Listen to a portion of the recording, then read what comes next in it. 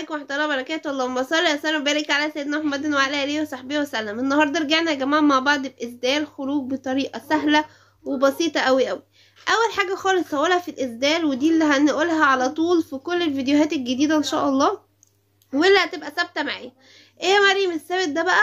إن إحنا نعرف كمية القماش وكمان هنعرف التصميم ده هياخد آه أنهي نوع قماش اللي هينفع معاه وهيبقى أنهي نوع يليق أكتر عليه وده طبعا مع ذوقك انت هتقدري تختلفي ده أو ده أو ده. تمام كده؟ طيب أول حاجة خالص هي كمية القماش.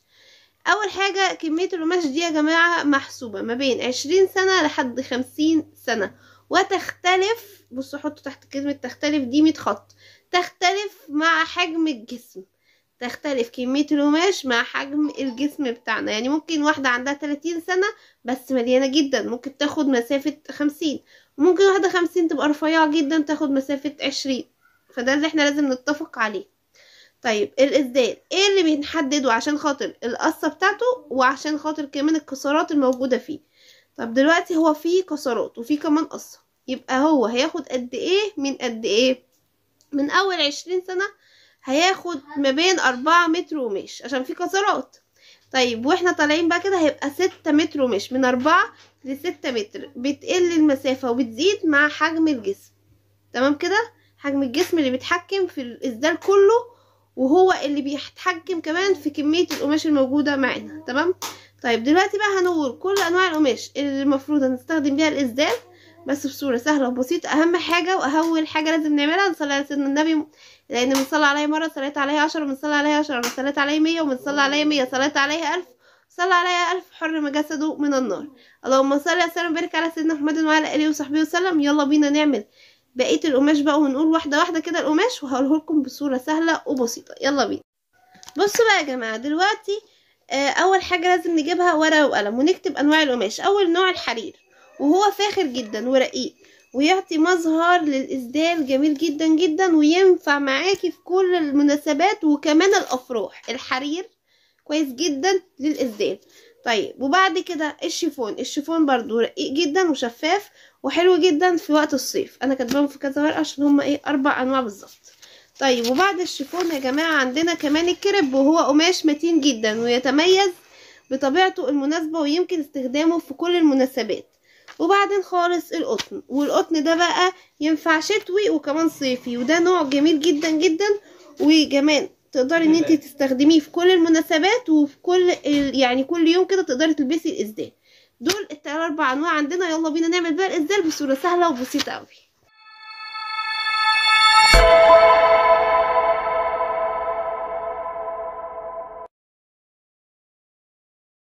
تاني يا جماعة مع بعض وهنعمل إسدال بصورة سهلة وبسيطة أوي. بالنسبة للباترون الأساسي هتلاقيه تحت في صندوق الوصف بصورة جميلة. أهم حاجة ال like والتعليق والاشتراك ويلا بينا نبدأ. بصوا بقى دلوقتي الباترون الأساسي أهو معايا تمام كده؟ مفهوش أي حاجة خالص ولا أي تعديلات. هنبدأ نعمل تعديل واحد بس وهو إن هنيجي من عند النص بتاع اللي منصف الأمام والخلف وهنبدأ إن إحنا نطلع مسافة تلاتة سنتي. بالشكل ده. وهنبدأ إن إحنا نوصل الباترون الأساسي بتاعنا كده. بالشكل ده. تمام؟ أهي. شايفة إزاي؟ طيب دي طريقة. طيب ممكن يا مريم إن أنا أخليها تبقى نازلة وتبقى جاية زي السبعة بالظبط أو ممكن طبعا يبقى هننزل تلاتة سنتي. وهنوصل المسافة دي بدي.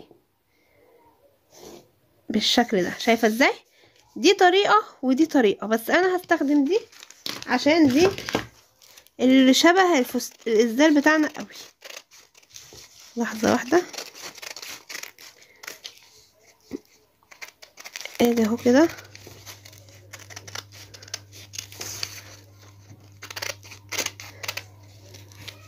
وهنبدأ إن إحنا نشيل حردة الرقبة الخلفية.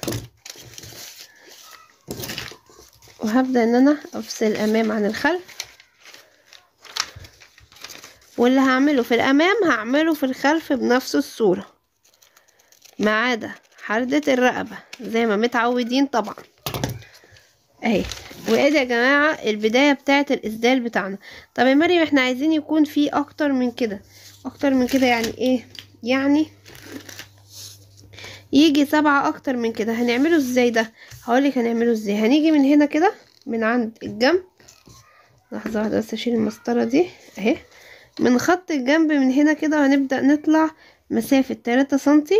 وهنبدأ إن إحنا نضغط على المسافة دي ونروح جايبينها كده بالشكل ده عشان نخليه جاي مجرد السبعة بالظبط. جاي السبعة بتاعتنا بالظبط. مفيهوش أي فرق خالص ولا أي حاجة. أهي. أدي يا جماعة السبعة بتاعته بالظبط. تمام كده؟ طيب. بعدين هبدأ أجيب القطعة دي وهبدأ إن أنا أعملها كسرات بصورة سهلة وبسيطة أوي. لحظة واحدة أهي وهبدأ إن أنا أعملها كده كسرات بالشكل ده. طبعا ده السبب اللي خلاني أقولك كمية القماش إيه قد إيه في الكسرات. أهو. إن شاء الله في أي تصميم تاني برضك هنقول كمية القماش بتبقى قد إيه. في اي تصميم هنعمله على القناة. أهم حاجة تشجعيني باللايك والتعليق والاشتراك. لو أول مرة تشوفيني وأول مرة تعرفيني. على فكرة الازاز ده عملته قبل كده. أنا بس حبيت أعيده المرة دي أو أعمله تاني المرة دي. اولا لأن الطلب مني. ثانيا لأنه الطلب مني بمنتهى التفاصيل. يعني اللي هو تاخد كمية قماش قد إيه. تاخد مسافة مثلا آه، طول قد إيه؟ كل الأدوات ديت وتاخد مني بردك نوعية القماش. فكل ده حبيت إن أنا أشرحه ما يبقاش لحد واحد بس لأ ده تبقى لكذا حد على القناة. تمام؟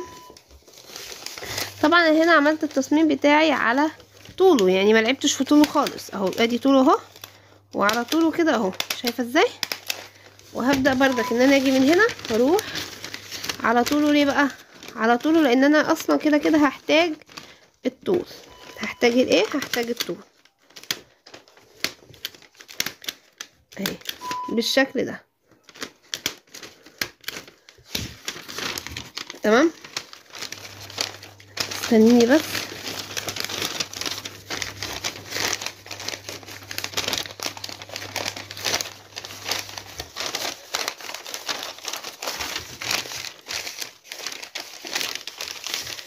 وادي يا جماعة شكل الاسدال في الآخر خالص. لحظة واحدة أوريهولك بقى. بصوا يا جماعة ده شكل الاسدال في الآخر خالص. اتعمل بصورة سهلة وبسيطة قوي. كل اللي عليكي بس ال like الجميل والتعليق الاجمل والاشتراك في القناة. أدي شكل الاسدال يا جماعة أهو. بصوا اتعمل إزاي؟ بصورة سهلة وبسيطة قوي.